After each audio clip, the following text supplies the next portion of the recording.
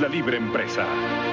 Una simiente, una idea, un reto, un esfuerzo creador de la libre iniciativa que satisface necesidades y produce empleo, bienestar, riqueza y libertad.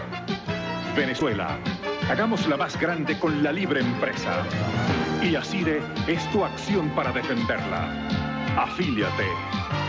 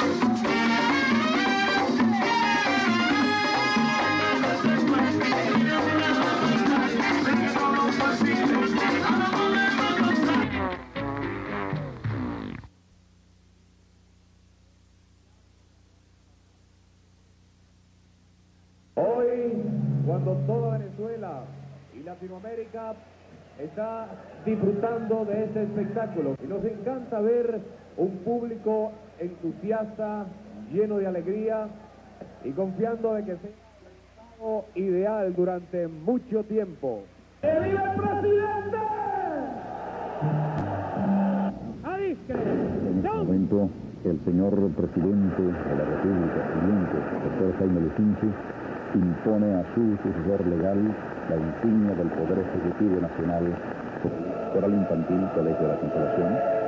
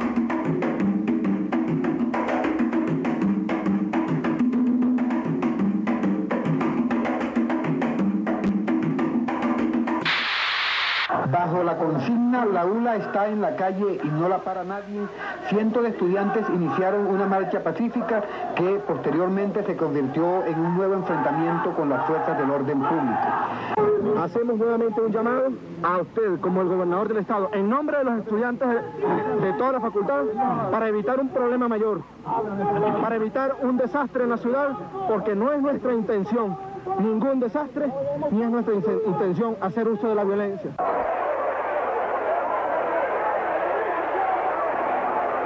Los estudiantes en este momento tienen razón de protestar públicamente en la calle porque el pasaje le están cobrando hasta el 200% y no están reconociendo el pasaje estudiantil.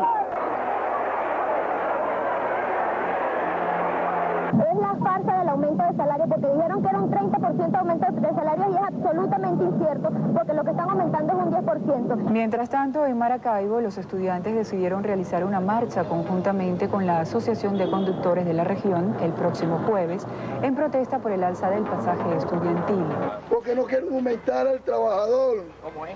Todos, todos nosotros aquí lo que estamos es puro pelando, pelando, eso no es así. Puro aumento de pasaje los estudiantes, la comida, todo. Entonces, ¿qué es lo que quiere la gente? ¿Qué es lo que quiere esa, gente? ¿Verdad? Que uno se muera de hambre, no es así. Que bajen todos los precios. Cuando bajen todos los precios, uno se queda tranquilo.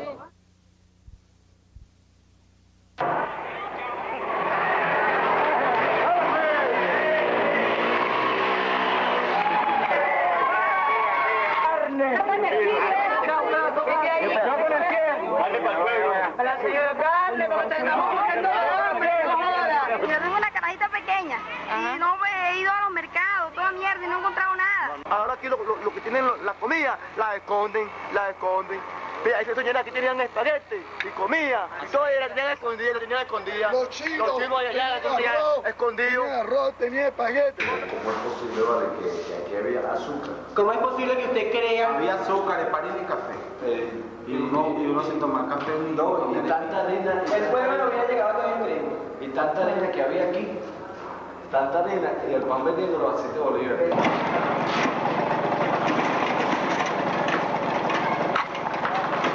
¡Eh! No un bota que llevas ahí, dámela ahí para la carajita mía.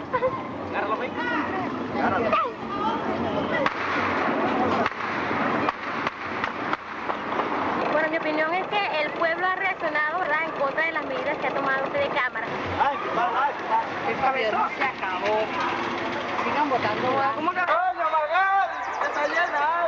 Está bien hecho todo esto que están haciendo. Ok, ¿por qué? Porque como usted cree que van a aumentar un cuarto de leche a mm, 200 bolívares, Claro. Nadie eh, ahorita que va a parir, entonces ¿qué le va a dar? que lo borre. Porque tú un ejemplo dando el pueblo para que el gobierno tome unas medidas necesarias para él. El pueblo tenía hambre, ¿cómo no? Tenía hambre. Coja coroto, coja coroto para comer. Pero ¿cómo vas a coger tú una nevera, un televisión? Ellos expropiaron lo que es el producto de su trabajo.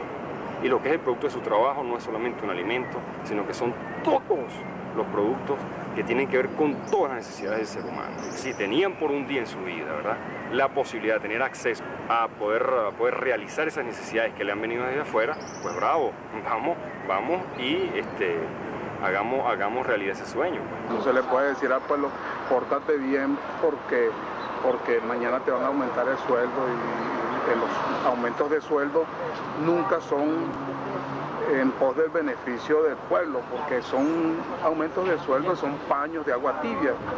Y el pueblo sigue siempre la misma miseria, la el misma hambre. En ese día se vivió colectivamente el placer, el placer de poder arrancarle de la mano al otro sin pagar, porque es interesante que sea sin pagar.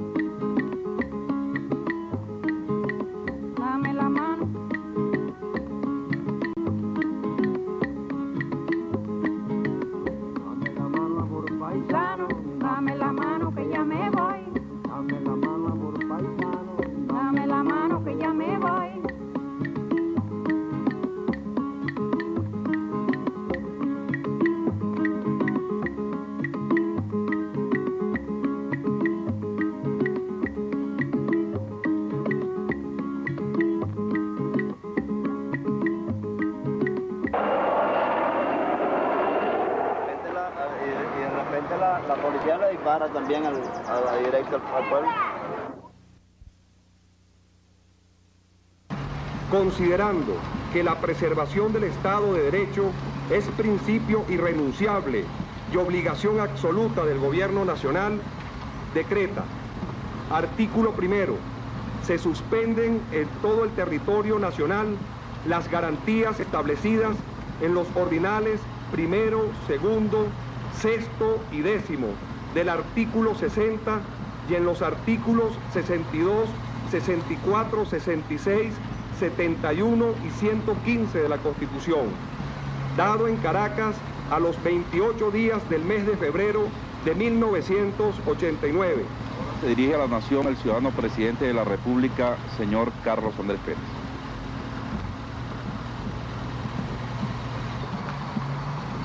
venezolanos. El 16 de febrero de este mismo año me dirigí a la nación para señalar las medidas que habrían de tomarse para rescatar las posibilidades de desarrollo y de bienestar a las cuales tenemos los derechos y grandes posibilidades todos los venezolanos. Es justo, es justo que un país que donde dice que hay democracia, la vida de nosotros en la calle no valga nada. Nosotros cuando salimos a la calle no salimos a reprimir, salimos a restablecer un orden que está alterado y que no permite el normal desenvolvimiento de las actividades del país. Nosotros íbamos del mercado, mi hijo los corotos quedaron todos regados en la calle. Yo me le tiré encima, a mí me, me agarraron así, abrieron un semedero de huecos, dos huecos en la pared de la casa, pero así de ancho. Es una ráfaga ametralladora que nos tiraron a nosotros. Se fue a tomar un, se paró demasiado a tomarse un vaso con agua y cayó. Estaba comiendo, no tuvo tiempo de comer, plato se le cayó en el suelo así botado, ni dijo nada, pues. Dos platos tiraron en el suelo y aquel charque de sangre. Un muchacho que vive al lado la mataron en la puerta de su casa, le dieron un tiro por el estómago y le salió por la espalda. El otro le dieron un tiro en el balcón, donde estaba parado, viendo eso en el calle El Carmen de Petare. Porque hay tantas, tantas cosas injustas. Un muchacho de 22 años que tenía un niño pequeño y los perdigones le, lo dejaron ciego niños de 10 años matados por la espalda. Que no es justo que se haga eso con el pueblo venezolano.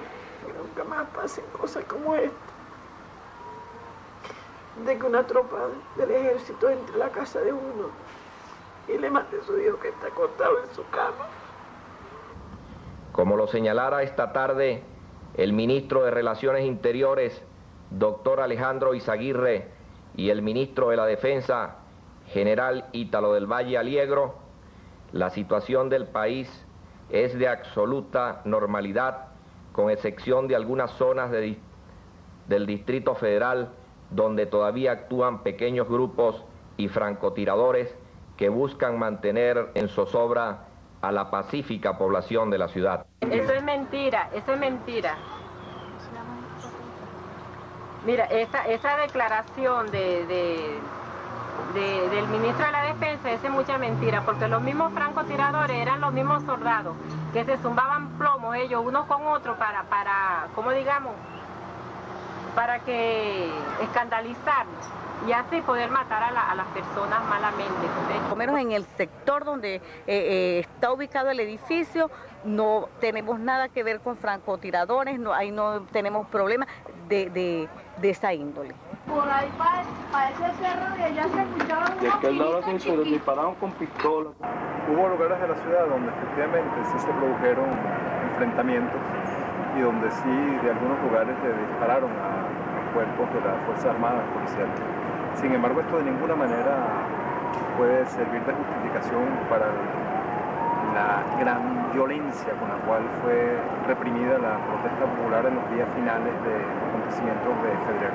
Es que, eh, es que yo quisiera que la gente eh, se ubicara en la avenida, eh, en, en la avenida, y para que vieran cómo esta gente disparaba, a quién le disparaban, a quién le disparaban. En realidad, con quien el gobierno estaba hablando a través de las Fuerzas Armadas era con la gente a la que le llegaron las balas, con la gente a la cuyas casas se vieron invadidas por las ráfagas de ametralladora del ejército. Esa era la gente con la que el gobierno estaba hablando y a la que estaba diciendo muy claramente que el gobierno tenía toda la disposición a enfrentar cualquier resquicio de protesta al plan económico que se disponía a imponer. Solo que una masacre. No tiene perdón de nadie. No perdona ni el diablo lo perdona.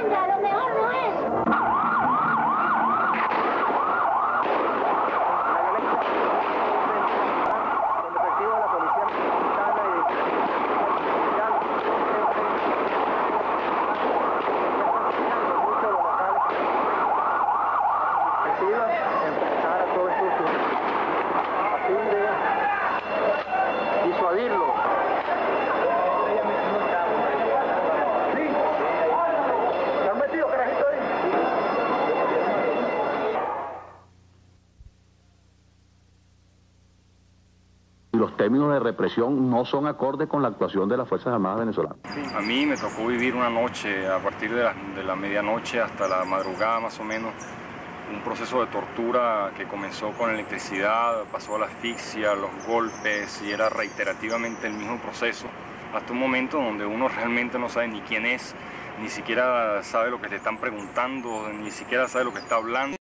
En fin, estaba, era, era un proceso que este, son poquitas las palabras que me, que me quedan en estos momentos para poder contarlo. En todo caso, el dolor era horrible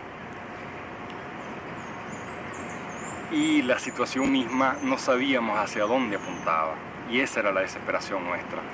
¿A dónde va esto? ¿Nos van a matar? ¿Nos van a desaparecer? Aquí no hay desaparecidos. Yo soy Petra Bello, madre de Juan Acacio Mena Bello. Salió de su casa a las 3 de la tarde del 28 en busca de su compañera que vive en Eucalipto. Y hasta presente no lo no ha regresado a su casa. Lo he buscado en toda parte, el cuerpo policial, bueno, todo, yo, hospitales, yo no he dejado un sitio aquí en Caracas donde yo no haya registrado. Mi hijo no aparece en ningún sitio.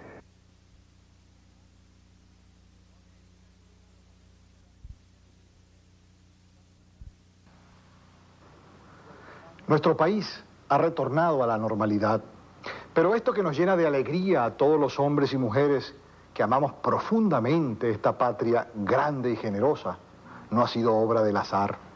Es el producto de la suma de todas las voluntades, del trabajo arduo y tesonero de la colectividad para la recuperación de la paz social. Sí, todos hemos contribuido desde nuestra trinchera de trabajo al restablecimiento de los procedimientos normales de producción de bienes y servicios para conseguir y preservar el bienestar. Todos hemos contribuido a la rápida superación de la crisis. Pueblo y gobierno configurando una vez más un extraordinario equipo de trabajo llamado Venezuela. Tantos inocentes que mataron ese, ese 27 de febrero, ¿por qué? Por culpa del mismo gobierno. ¿Y quién los paga? Nadie. Tú ves que todos hace pocos muertos quedaron en la calle regados y nadie, nadie los mató, matándolos del mismo gobierno. ¿Verdad? Entonces, ¿cuántos familiares no hay ahorita pidiendo que abran las cosas esas que hay para ver si consiguen sus familiares? No hay ni 200 ni 300, hay miles de personas inocentes que murieron bajo ese problema. El 27 de febrero cayeron una serie de mitos en los cuales está fundamentado nuestro sistema político. Número uno, la leyenda de la pasividad popular. Evidentemente no había tal pasividad del pueblo. El segundo elemento que cayó es el mito de la representatividad populista. Se ve que ninguno de los partidos del estatus tuvieron nada que hacer allí. Otro de los mitos que cayó es desde luego el mito de la vitrina de exhibición. Es decir, de que había un país en América Latina que podía a la vez cargar con la deuda pública, cargar con la injusticia social, cargar con la corrupción y todavía ser un modelo bonito de democracia. Entre los mitos que cayeron el 27 de febrero, el más importante me parece a mí el de la colaboración de clases. Durante 30 años el sistema político populista ha estado sosteniendo que los explotadores y los explotados pueden vivir enteramente felices y con mutuo beneficio. El 27 de febrero se demostró que no es así. Los explotados salieron a la calle en una violentísima protesta diciendo que no aguantan más. Lo que pasó el 27 no es nada comparado con lo que puede volver a suceder, porque el pueblo está cansado, ¿ves? El pueblo está cansado de tanta mentira, de, tanta, de, tantas cosas que pasan, que, que los chivos grandes lo que hacen es llevarse todo para afuera y el pueblo muriéndose de hambre. Ese trabajador parcelado, ese trabajador socialmente dividido, resulta que el 27 se unificó sea, se hizo solidario. El pueblo, si, el pueblo, si el pueblo se une todo, Venezuela tiene que salir adelante, porque si no, no. Desgraciadamente, la organización que, que respalda todo aquello es muy pobre. Es una organización que en estos momentos es, es naciente, llena de dudas, llena, llena, de, llena de, de problemas de problemas íntimos, es decir, de, falta de seguridad en sí misma, de falta de proyecto, de falta de debate, de falta de formación de quienes participan en esa organización popular y de esa manera el proceso ha sido evidentemente muy lento. Este pueblo está pasando el hambre, pueblo no aguanta más, pueblo no aguanta más chantaje, más urna y más engaño. El saqueo es una expresión profunda de este descontento, pero de ninguna manera un instrumento, una vía, una posibilidad de transformación de las cosas. Lo que es más importante en estos momentos es que hay un aprendizaje colectivo que se hizo espontáneamente, que se hizo sin la conducción de nadie, que le probó a todos los malditos que siempre han querido ponerle jefes a la gente, que es posible, la gente aprende por sí misma y que más que jefe, lo que la gente necesita son grandes orientadores, grandes maestros que no solamente enseñen, sino aprendan. El pueblo se está preparando más, calladito por debajo se está preparando. Si vemos la cosa así, yo creo que no podríamos hablar de que hay un otro país después del 27, sino más bien, ¿por qué no preguntarnos si no puede haber otro pueblo? Porque el país, y el país está, el país es la economía, el país es la dirección política, el país es el ejercicio del poder, y esto está totalmente articulado, engranado a ese gran mundo del capital y cada vez más juega con la pobreza, o sea, si se articula a través de la deuda, cada vez juega más con la pobreza y con la miseria. Ya la gente no se va a quedar con eso, la gente ha tenido un cambio muy tremendo. Salió la noticia que la gente ya se había olvidado de lo del 27, El gobierno trata de, de, calmar las cosas así, o sea, de, que la gente se le olvide, se le olviden las cosas que pasaron, pero que es difícil para olvidar. Eso no se olvida. Los rasgos de solidaridad, los rasgos de amistad, los rasgos del deseo de sentir placer, goce por las cosas que se hicieron el 27 y el 28, ese, deseo compartido, yo pienso que allí este, es como, como una señal, como decirnos, mira, este, intentaron agotarlo todo, pero todavía hay un gran potencial, todavía hay cantera, o sea, todavía hay humanidad.